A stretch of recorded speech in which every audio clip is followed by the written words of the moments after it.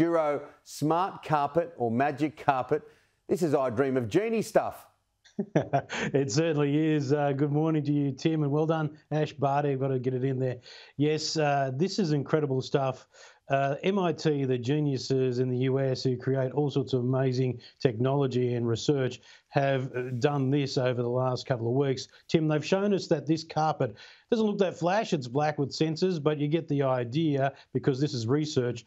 And what they've done here is they're able to teach this carpet to sense what someone is doing on top of it and then extrapolate into a 3D moving image. So just in that little second bit there with the grid, you can see there's tiny little grey uh, blotches happening through just that interaction with someone on the carpet. They're able to make a 3D image of someone doing exercises. So you can imagine it. You um, you sit on the carpet and it can tell who you are, and you start doing uh, sit-ups, push-ups, whatever, rolling around, and it can tell you what you're doing, how many reps you're doing, and uh, I guess later on they could build things in like uh, sensing your weight and working out exactly what uh, is happening. So this to me is just amazing stuff. And if you want to know what this is similar to in extrapolation. If you think about your smartwatch, in the early days of the smartwatch uh, with Fitbits, they were just trying to work out what you're doing by your arm moving up and down, or it must be running. So very clever, clever algorithms. But as you can see there, it does an amazing job and just very little input to then create what is a 3D image of someone working out on the carpet. Why would you need a smart carpet when you could use cameras? That's a good question. And they use cameras to help train this system. But once they've got trained, they got rid of the cameras. And the big reason for this is security and your privacy. So not everyone wants cameras in their home 24 7. And the great thing about this sensor is that uh, it can still detect who you are and if there's movement and things going on, very close to what a camera does, but it doesn't capture a real image of what you're doing. So if you want to get through and, you know, um, and your swimmers or whatever, train in the morning on the couch, might be a yeah, bit horrific for some people. yes, just just warn people please Tim first.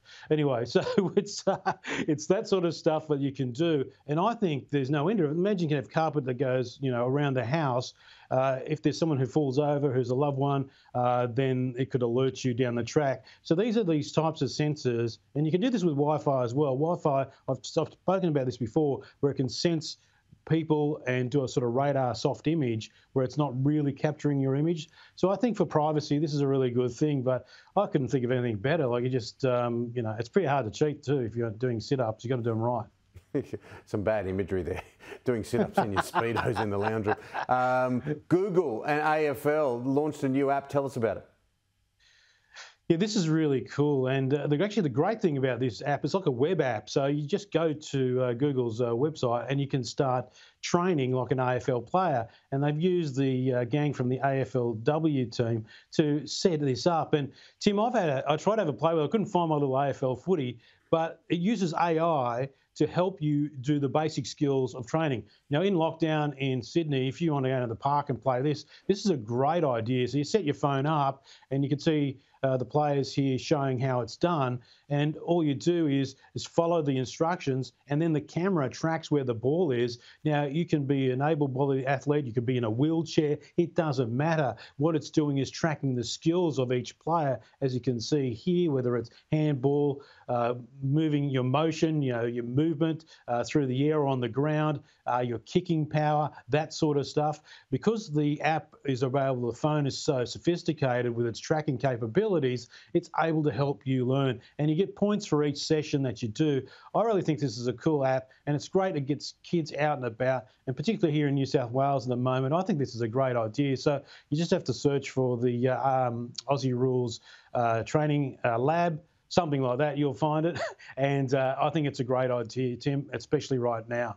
Yeah, clever and great to see them catering for those in wheelchairs as well. Uh, that's another win last night. Dylan Alcott, that was fantastic with oh, his victory, a legend. of course. Uh, two Wimbledon titles for him. He's such a character. Now, I've many called, people. I've called a lot of uh, games with him. Actually, he's a he's a champion. Yeah, he's a nice guy. Now, and many people are wasting their money with on-screen protectors for their phones. Uh, what's going on here? Yeah, look, uh, if you smashed your phone, you would have smashed your phone oh, a few times. Smashed at the moment. so you know these these are like um, a couple of modern covers. Uh, there's a bit of difference though. You know, this one on the right here is a sapphire, and this one here is glass. This one's the uh, Belkin one. And the great thing now is that at least they're easy to set up because uh, I was doing this last night with the Belkin model, which is pretty cool, the glass base. Uh, and they give you a little kit now, and they enable you to then uh, align it and use all the other little sticky bits to get the pads off or the uh, rubbish off it. And if you align it properly, you get a really good finish. I was hopeless at those other plastic ones back in uh, the day, like 10, 15 years ago. And I think they do a great job now. But I think it, it's a good idea to get uh, a cover or a protector for the back as well if you don't use a case because that is susceptible to breakage. Gorilla Glass is very strong and uh, glass is good on these things, but as you notice in a, in, a, in a sapphire one, it doesn't bend much. In the glass one, it does. So that would, if you dropped it, it might flex better for you the glass.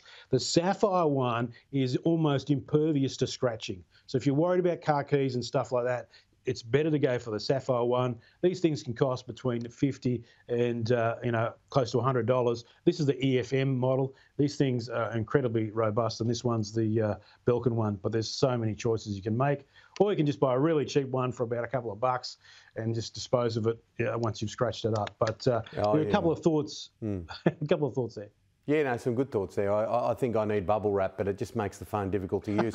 Uh, Djuro, enjoy your day, and uh, we look forward to uh, catching up with you on Image Matrix Tech. Cheers, Tim. Good to speak to you.